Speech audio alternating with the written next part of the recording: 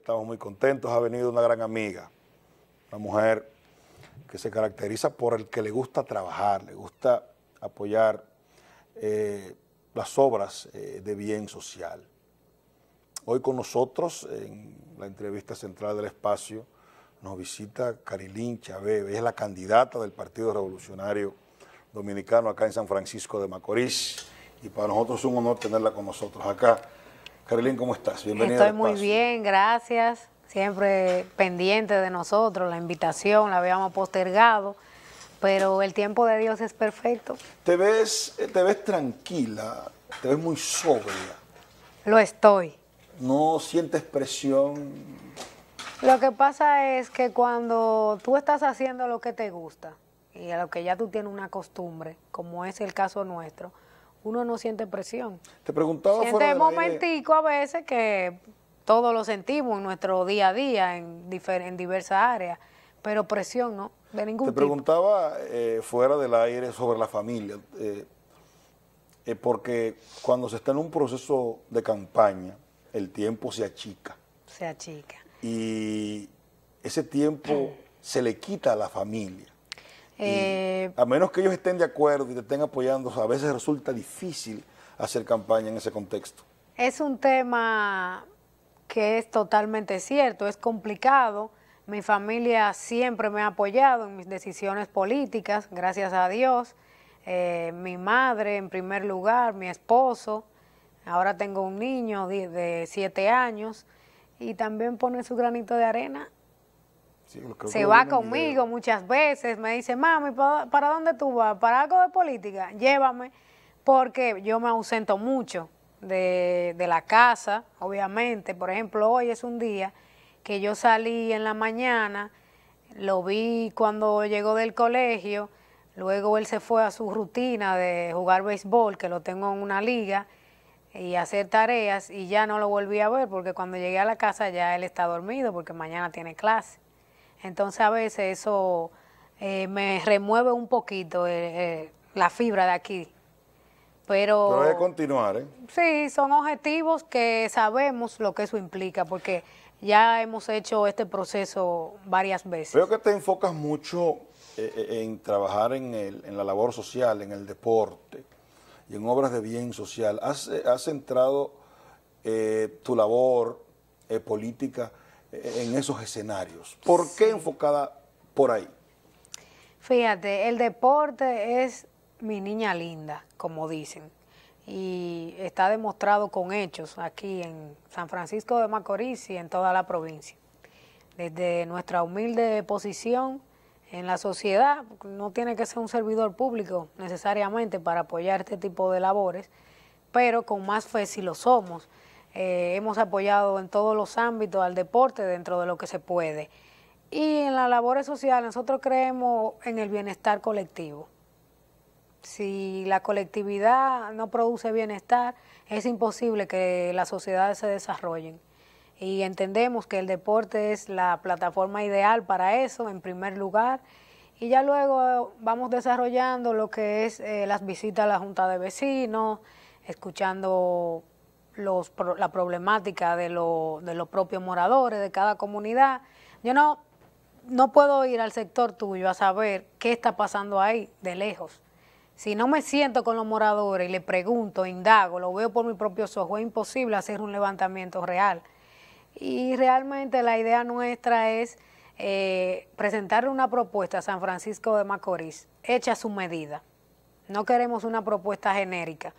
Es por lo que nos hemos empeñado en concertar un equipo de técnicos, todos franco-macorizanos, donde quiera que voy lo digo porque ese es parte de nuestro orgullo, porque los franco-macorizanos sabemos eh, los puntos neurálgicos que estamos viviendo porque los padecemos diario.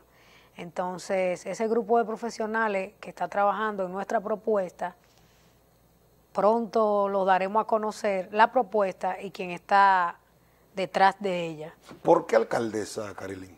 ¿Por qué? Porque hay otras posiciones. Sí, muchísimas. ¿Por qué alcaldesa? ¿Qué te motiva?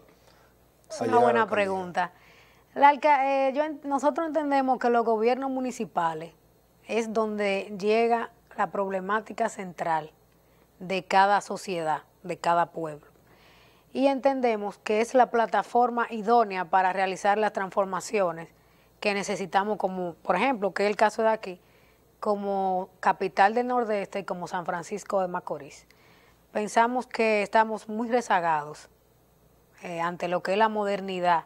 Necesitamos una alcaldía con otra visión, con una nueva gerencia que sostenga relaciones a nivel nacional, a nivel internacional, que podamos ser enlace de acuerdos, servir de instrumento verdadero para una transformación de lo que sería San Francisco de Macorís. Y además, un ayuntamiento solidario. Un ayuntamiento solidario. Sí, que colabore con la parte social que le corresponde. El ayuntamiento es más que recoger basura. Nosotros queremos informar a San Francisco de Macorís y que se eduque en base a las reales, ¿cómo te digo?, eh, al, al, real alcance que puede tener una alcaldía. Que no sea un limitante de que eso no me toca a mí. No me toca a mí, pero vamos a hacer un esfuerzo. Vamos a tocar puertas. La parte política, eh, eh, eh Carilín, Tú eres candidata desde ya por el Partido Revolucionario eh, Dominicano. Tú podrías ser candidata de la alianza si se materializa. ¿Tú has, tenido algún tipo de acercamiento? En política todo ¿Tú puede allá pasar. ¿Has escuchado desde allá que pueden, puede darse un acuerdo y tú ser la candidata? ¿Tú te llevas bien con los PLDistas, Carilín? Perfectamente. Fuimos aliados en las elecciones pasadas. ¿Y con la gente de la Fuerza del Pueblo? También. Igual o mejor. ¿No te sientes extraña ahí en esos grupos? No, para nada. Pero con los PRMistas me llevo muy bien también. ¿Te llevas bien con los PRMistas? Claro. ¿No, no te atreverías a irte al PRM? Eso no está en agenda. Pero no te llevas, no te llevas, pero, no te llevas mal. Pero si, si viene, si un scout de pelota te ve, te firma de una vez y esa recta. ¿Y qué fue eso? No, porque eh, el trato, el trato es fundamental. Es fundamental. Y si te tratan bien, Generalmente uno está donde uno se sienta bien. Claro, pero ellos, se, ellos se sienten bien conmigo también. ellos pueden seguirme donde yo esté. Todo es posible en política. Porque eh, es de, de doble vía. Además, tú dijiste que no se puede descartar nada. No, nada, absolutamente. La historia está ahí. Tú has visto cosas que tú nunca pensaste mm, ver. El pacto por la democracia lo vimos. Y antes de comenzar el programa estábamos tocando una de ellas. Sí. Entonces. Hay muchas cosas. Lo importante es, eh, mi alianza principal, nuestra alianza principal es con San Francisco de Macorís. Eh, entendemos que los partidos son un instrumento para nuestras aspiraciones, lo respetamos, lo hemos hecho casi durante 15 años, 16 años, pero realmente el enfoque nuestro va más allá de los colores. Va más allá de los colores. Sí, los colores partidarios. Es por lo que te podría decir que tenemos... Una eh, alcaldesa para todos y todas. Incluso hemos estado utilizando San Francisco de Macorís, somos todos, porque San Francisco de Macorís es un pueblo solidario. Que vengan todos. Todos. Eso es política, la pluralidad. Que, me va, que nos evalúen y exhortando que, que esta vez podamos elegir eh, con más objetividad, más allá de los colores precisamente. Es importante, es importante. Estás trabajando y como tienes una campaña tan activa, sin temor a equivocarme, eres una, eres una de las figuras políticas de acá de San Francisco que está más activa y comenzaste con más tiempo. A la labor social. Y naturalmente, cuando hace una labor social, se hace política, porque la política es eso, la política es servir. ¿Tú has medido que ¿Has hecho mediciones? Se han hecho algunas mediciones, eh, no recuerdo si por aquí una vez. Eh, sí, sí. Pretendemos eh, un poquito más ¿Recientemente has hecho alguna medición? No, hace ya como algunos tres meses creo, pero pretendemos hacer una pronto, porque ya luego de esos tres meses hemos seguido trabajando y hemos seguido conquistando espacio y entendemos que eso se refleja en esas mediciones. Si no vas, si no eres la candidata de una alianza, de todos modos serías candidata, continuarías. Como te dije, son temas partidarios que debemos de tratarlo en, en la comisión política, en la parte gerencial de, de nuestro partido, pero estamos trabajando con miras a ser la candidata que somos desde ya. Te he visto, he visto que estás haciendo muchas actividades. Tenemos, eh, eh, tenemos eh, un video Sí. que vamos a compartir con la audiencia eh, de cosas que estás haciendo. Vamos a ver, señor director, si podemos eh, colocar. Esas son actividades sociales que, que son parte de nuestro programa de campaña y parte también de nuestra gestión como concejal. No son propuestas, porque a veces hay personas que, que dicen, ah, pero no, no, eso no es una propuesta. Ahora, para elaborar una propuesta real, eh, nosotros nos estamos tomando el tiempo que amerita. Le llevamos alegría a las madres de Vista al Valle en el video que vamos a presentar, a unas 600 madres. 600 madres. Sí, así fue. Tú lo vas a ver Es ahí. una, gran, es una gran inversión. ¿eh? Ahí lo tenemos. Es ¿Eso, una- es eso, lo hiciste dónde, Carlín? Eso fue en el salón de actos de, del Gregorio Luperón, la escuela Gregorio Luperón, que está ahí en la calle principal de Vista al Valle. Fue una actividad muy emotiva, Muy bonito. sí. realmente, mira, mira eso. Muy bonito. Y muy organizado, sobre todo. Nos llevó bastante tiempo eh, organizarla y llevarla a cabo y una inversión de un capital humano muy valeroso que, como, que es mi equipo, que son el motor que... Salió una foto, señor- salió una foto de Franklin, hay una persona con un t-shirt de Franklin Romero. Ah, no, ahí andaban gente de todos los partidos. Había un grupo de señoras con suerte de Franklin. Y no, eso no nosotros no, no cuestionamos. problema, tú no excluyes. No, Tú eres una jamás. mujer plural. Pero claro, es que yo no fui a hacer una actividad para las madres de Carilín que están apoyándome. Eso es una actividad para las madres. Ahora, de ahí hay un gran, por ejemplo, esa líder comunitaria que siempre nos ha apoyado y hay una, una gran mayoría que contamos con ese respaldo. Eso fue este domingo que lo hiciste. No, eso fue el jueves. El jueves, el jueves. La próxima eh, fue el sábado en Pueblo Nuevo. En Pueblo Nuevo. Eh, eh, ¿Tenemos un solo video o en el video están las dos actividades? No, ese es un video. El otro, no recuerdo si te lo No, envié. me enviaste solamente uno. ¿eh? Ah, pues. Pero ya en la pausa, después de la pausa, vamos a, a ver eh, si podemos... Ver el otro, sí. Si podemos colocarlo. Eres concejal, Así es. eres eh, regidora en el Cabildo de San Francisco eh, de Macorís. ¿Por qué te ríes, Carilín? No, me siento bien aquí ¿Te contigo, cómoda? ¿Te sí, sientes cómoda, cómoda claro, claro. Debe venir más a menudo.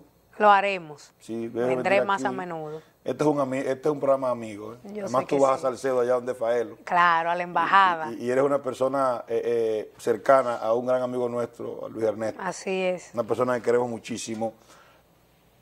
¿Cómo tú vas a la gestión de Siquio N.G. de la Rosa como alcalde acá en San Francisco?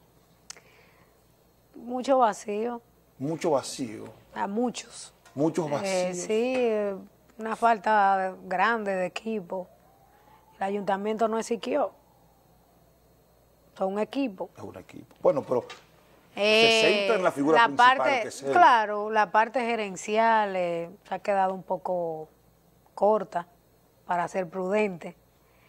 Nosotros sentimos un gran aprecio personal por Siquio y un, gran respeto, pero las cosas se deben decir como son, con responsabilidad.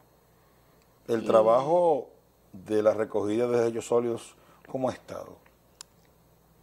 En un inicio estuvo pésimo, ¿Ha mejorado? ha mejorado, pero puede ser mejor. Puede ser mejor. y tendremos una propuesta para colaborar con esa mejoría.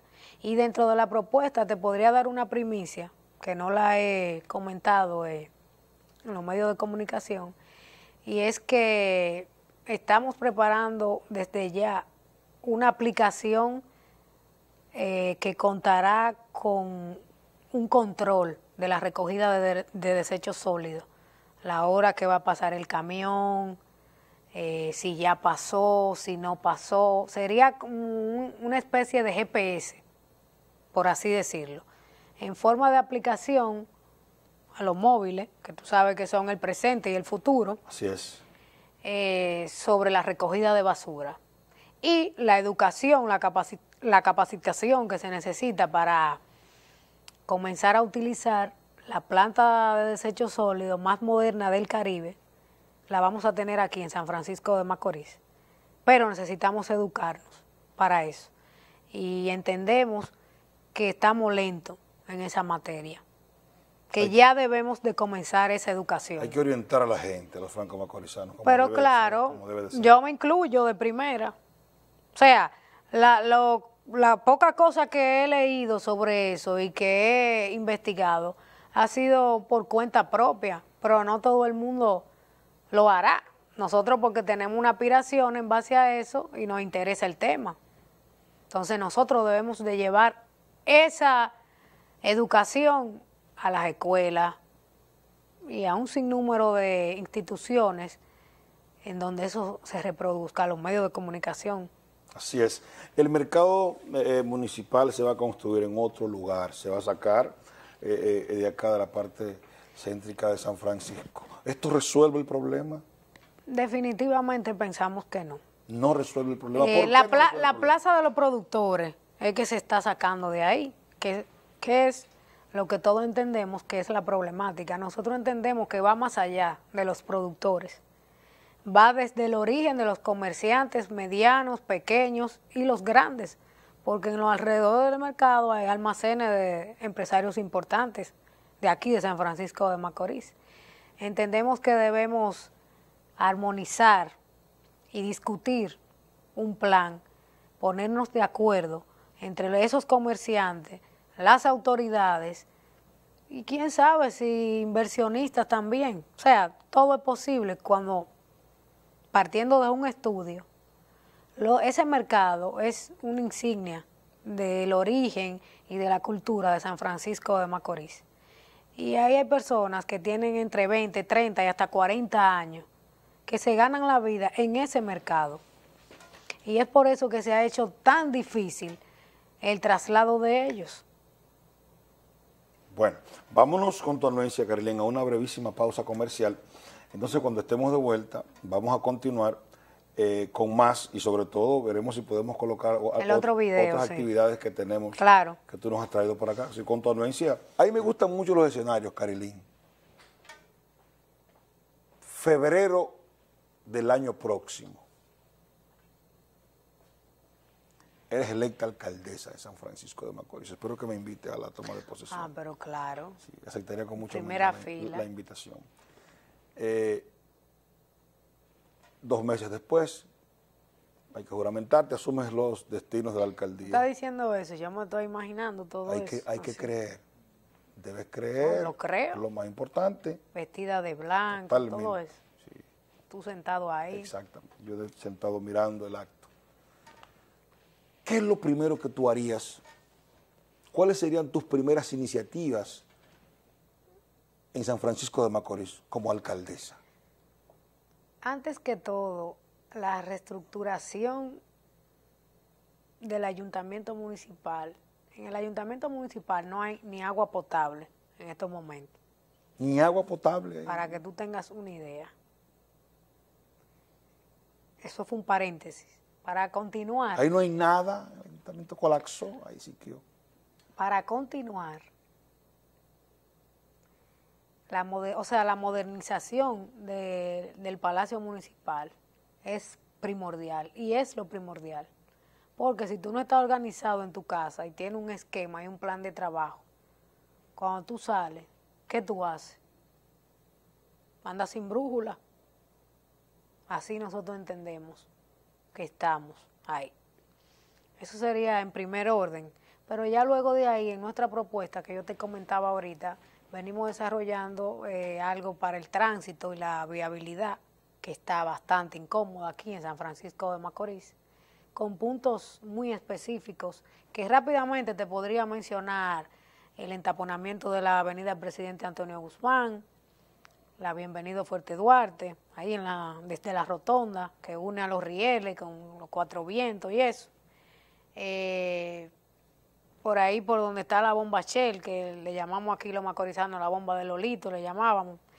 Eh, por ahí hay algunas cosas que estamos reestructurando que nos permitirán eh, desentaponar la ciudad en adición a lo que sería la, la circunvalación, porque la circunvalación nos va, nos ayudaría bastante y nos resolvería una parte del problema, pero no todo.